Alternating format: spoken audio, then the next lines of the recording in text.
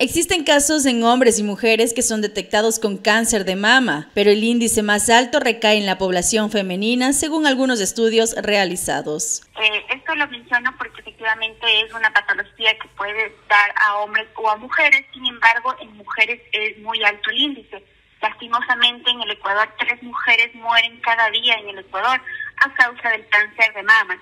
Y otro dato súper importante, las mujeres que son diagnosticadas en cáncer de mama, sobre todo el 73% ya llegan lastimosamente en estadios intermedios o avanzados. Es por eso que Solca, Avon y la empresa Roche lideran una campaña de detección a tiempo del cáncer de mama. Además, brindan exámenes totalmente gratis. estas barreras, la campaña busca contribuir a este objetivo país.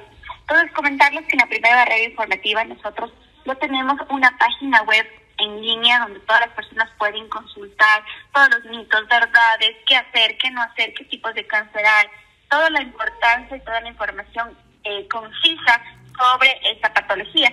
Dentro de esta campaña también consta de dar charlas de información durante todo el año. En el caso de las personas de Napo, para acceder a estos beneficios es importante revisar la página www.ecuadorcancerdemama.com. Sí, los invitamos primero que pueden ingresar a www.ecuadorcancerdemama.com donde pueden saber el tipo de alimentación que deben tener, los ejercicios, cuánto tiempo de ejercicio me va a ayudar a mí a prevenir, las mujeres de 40 años en adelante son las mujeres que tienen mayor riesgo de tener esta patología. Entonces, ¿qué debo hacer yo que estoy cerca de edad? O mi mamá, mi tía, mi amiga que está cerca de edad.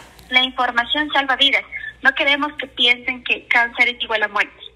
Nosotros tenemos en nuestras manos el poder de la información. Para una segunda fase, estas instituciones buscarán aliados y así llegarán a más provincias del Ecuador. Con edición de Eduardo Estrada, informó Michelle Garzón, Noticias al Día.